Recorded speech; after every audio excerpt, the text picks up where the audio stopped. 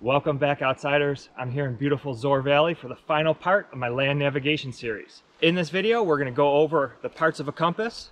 We're also going to learn the basic skills of map and compass work, like shooting a bearing in the field, orienting our map, and taking a bearing from a map and using it in the field.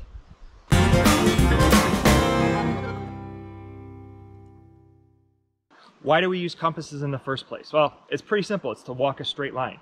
We shoot an azimuth or bearing, we walk towards that object, and we know that we're walking in a straight line.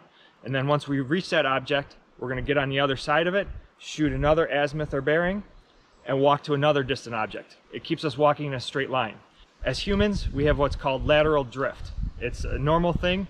You always tend to walk towards your dominant side. So I'm right-handed, so my lateral drift, I'll normally walk a little bit to the right. It's normal, and a compass helps us avoid that. In previous videos, we've gone over all of the parts of the map. Things like UTM lines, scale, declination, distances, and now we're going to take all of those skills that we learned in those videos and use them in practical purposes with a map and compass in the field. There's three major map and compass skills. The first is orienting your map.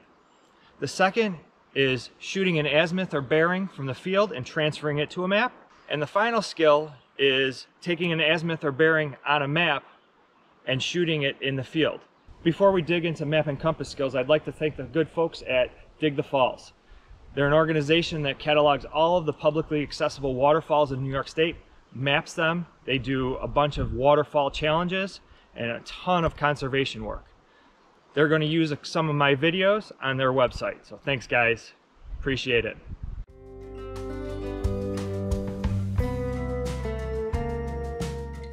So let's take a look at the basic parts of the compass. This is a base plate compass. This is the Suunto M3. This is my go-to compass. And the base plate is this whole outside part. And if you look on the base plate, it has a bunch of different things written on it. The first thing you'll notice is there's a centimeter ruler on one side, inches on the other, and then there's some other rulers based on the scale of your map. You'll see that there's a magnifying glass if your map is very small and you can't read something. This red arrow at the top is what's called your direction of travel arrow. Then we take a look at this spinning part. This is called the bezel. And at the top of the bezel, we have what's called the index line. And that's the what we use to actually read the azimuth or bearing in degrees off of the bezel. Then inside of the bezel, we have a couple different things to look at. The first is the red orienting arrow.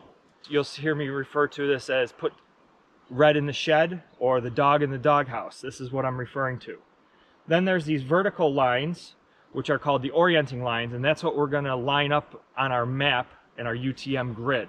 And finally, and probably most important, is the needle. This is our magnetic needle. The red side corresponds to north, black to south. So you're gonna put the red side in the red orienting arrows. And finally, because my compass has an adjustable declination, which I highly, highly recommend, you'll see uh, the declination on the inside of the bezel. We're gonna adjust that as our first step.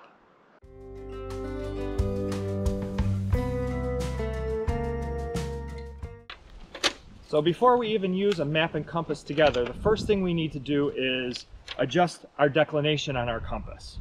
And we do that by looking at our map, and this map I printed out from CalTopo has a declination of negative 11 degrees. Remember that we are on the east coast here, therefore our declination is going to be negative, or a western declination. Because my compass has a declination adjustment, what I do is I take the key that's on the lanyard and I use the little screw on the back of the compass and I adjust that declination until I have 11 degrees west. Remember that we are on negative 11 is a westerly declination. And once I have that, I am all set for all of my bearings that I'm going to take for today.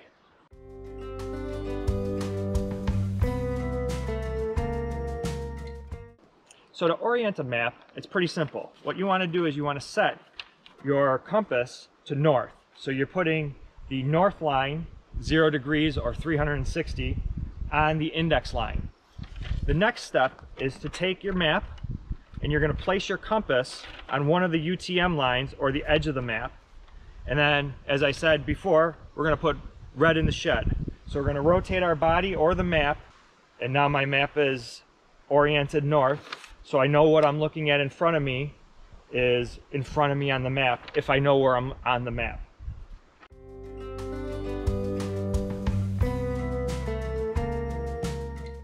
So the next skill is to shoot an azimuth or bearing. And let's just say a friend said, from Point Peter, if you shoot a azimuth of 156 degrees, you'll see the Valentine Pyramid. So what we're gonna do is take our compass and we're gonna rotate our bezel until our index line shows 156 degrees. Next, we're gonna hold the compass out a little bit away from us to avoid uh, any contact with metal that we might have on our body. And then we're gonna rotate our body until we put red in the shed.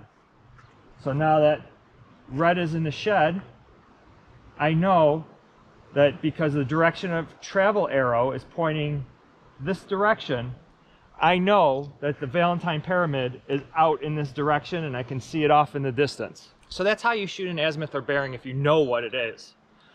Next, we're gonna shoot an azimuth or bearing of some object in the field. And behind me, I see this big cliff face. So what I'm gonna do is I'm gonna point my direction of travel arrow at that cliff face. And then I'm gonna rotate that bezel until I put red in the shed. And then I will just read the number that's on my index line. So that is reading 118 degrees. So those are the two basic skills.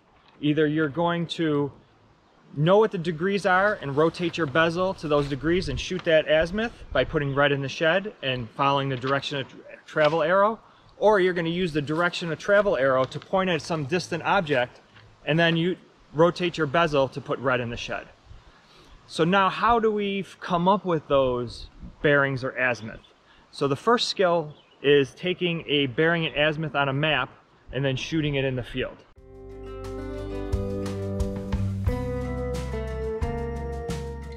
So I know I am at Point Peter right now. And let's say I want to know where the Valentine Pyramid is. So the first thing you're going to do is set your compass, base plate ruler, pointing in the direction that you want to travel or look. So make sure that your direction of travel arrow is pointing at the object or the direction you want to go. And then this lines up from point to point. Then what you're going to do is you're going to rotate your bezel until your orienting lines, the red lines inside the bezel, line up with the UTM grid lines on the map.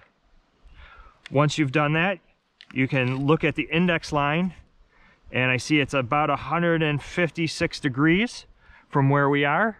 So now I can use that 156 degrees to shoot a bearing to the distant object. So now what I'm gonna do is hold my compass out in front of me and I'm gonna rotate it until I put red in the shed and my direction of travel arrow should be pointing at the distant object, the Valentine Pyramid. So one important thing to note, whenever you're taking a bearing from a map to the field or the field to the map, you're only gonna rotate your bezel one time. One time while it's on the map, you rotate your bezel and then you're gonna pick it up and put red in the shed or vice versa, you're gonna shoot that bearing in the field, rotate your bezel, and then you're gonna place it on your map. Only rotate your bezel once.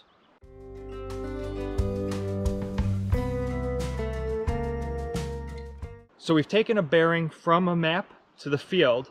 Now let's take a bearing from the field to the map. So I see a distant object.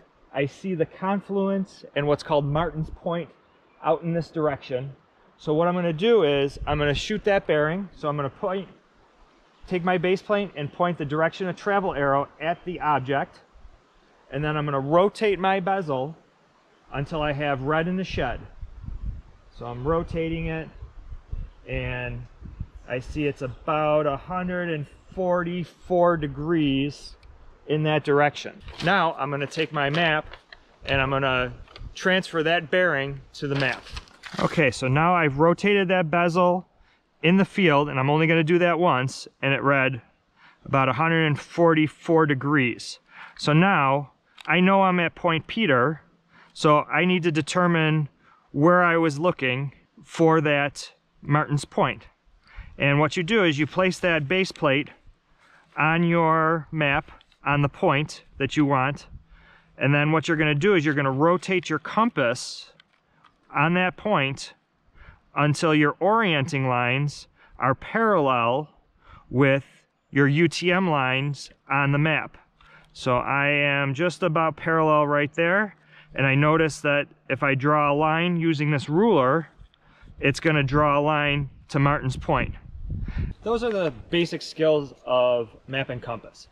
Orienting a map, taking a bearing from the field and transferring it to the map, and then taking a bearing from a map and transferring it to the field. Now I'm going to go over a couple more advanced map and compass skills, finding yourself on a straight line, and triangulation. So we're going to head over to another part of Zoar Valley.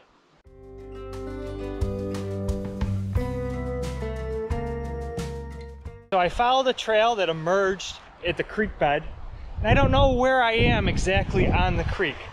So what I'm going to do is I'm going to look around, take a look at my map, and see if I can determine, based on the topography around me, if anything matches up and I can find a point that I can shoot a bearing or azimuth to, to do a straight line to where I am. First thing I'm going to do is orient my map. Remember, we orient the map by putting the north line on our index, place the base plate edge along a UTM grid line, and then put red in the shed. So as I do this, I'm rotating, I got red in the shed, so I'm pretty confident that uh, I have my map oriented the right way. Now as I stand here, I'm looking at the features in front of me and I can tell that right in front of me right there is Point Peter.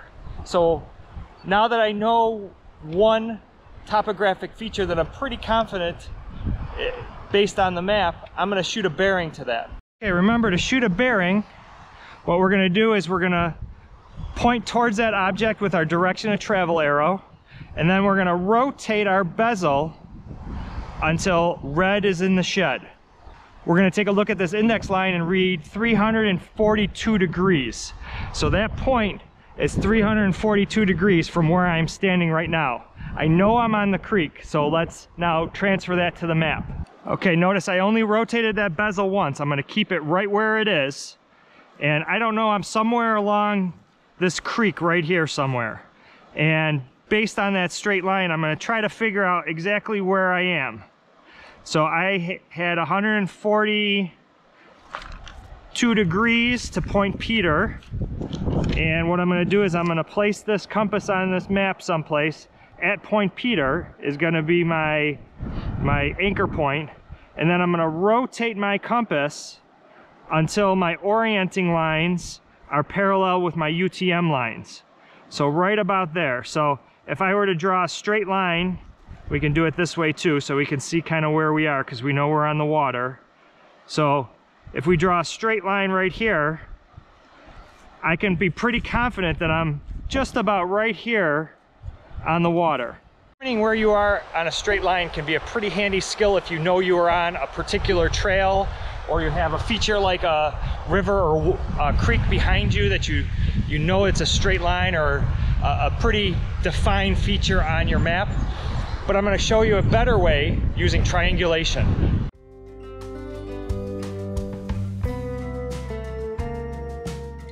So we've made it to an unknown point here in Zoar Valley. If you look around and see where we are, this is probably one of my favorite spots. If you've watched some of my other videos, you can probably guess where I am at. So what I'm gonna do is I'm gonna try to triangulate my position. This is a much more accurate way of finding your position rather than on a straight line. Same skills, you just have to do it three times. So I'm gonna look around at different features. Uh, first thing I'm gonna do is orient my map put my north line on my index line, place my compass base plate edge on a UTM line, and then I'm gonna put red in the shed. Okay, so, all right, my map is oriented, so I kind of can see, because we got the creek below us, how this goes. And, uh, you know, I'm looking out in the distance right here, and I see the Martin's Point, the main branch going that way, the south branch going that way. So I'm going to use that rock face right there as one of my points. And then I'm looking out in front of me here, and I can see this um, V, which indicates it's a stream that's flowing into the creek and going uphill. So I can tell right in front of me is that creek. And then I need one more point, and you can just see around this bend the end of the cliff face um, across. So I'm going to use those as my three points for triangulating my position right here. Okay, step number one is to shoot a bearing to my first point, which is Martin's Point right here, this rock face in front of me. So what I'm going to do is I'm going to put my direction of travel arrow pointing at the topographic feature and then I'm going to rotate my bezel until I put red in the shed. Okay. And then I'm going to take and record the number that is on the index. And we have 124 degrees. So now I'm going to transfer that 124 degrees to my map. We're going to place our base plate compass. We're not going to rotate our bezel. We already shot that bearing at 124 degrees. We have Martin's Point here, and what we're going to do is we're going to place the straight edge of the compass on Martin's Point, and then we're going to rotate the compass. And remember, you want to have north going north, not south, or else you're going to be 180 degrees off. So we're going to rotate the compass until those orienting lines are lined up with our UTM lines. And then we're going to take and draw a straight line on the compass. We don't know exactly where we are, so we're just going to take and draw a straight line right there. That I have my first straight line from that point to my map, I'm going to repeat that two more times with the other known features that I have here. So step one is I'm going to point my direction of travel arrow at that creek, and then I'm going to rotate my bezel until I have red in the shed, and then I'm going to read my bearing, which is 56 degrees. Now I'm going to take my map and point at that creek edge, place my edge of my compass on that creek edge, and then rotate until I have my orienting arrows lined up with my UTM grid and my north is pointing to north. I'm going to take and draw a straight line right there. Now we're going to do that one more time around the bend here. I'm going to shoot this bearing. Direction of travel is pointing at that edge. I'm going to put red in the shed. And I'm going to take a look at this bearing. I'm going to take and not rotate my bezel. And I'm going to finally place this on that, that edge where that point is coming off. And then I'm going to rotate my compass until my orienting arrows are in line with my UTM grid, and then I'm going to draw a straight line. And if I take a look at the map, my three straight lines will form a triangle, and I'm somewhere within that triangle. So if I did this right, I should be on Valentine Pyramid. So those are the basic skills of a compass.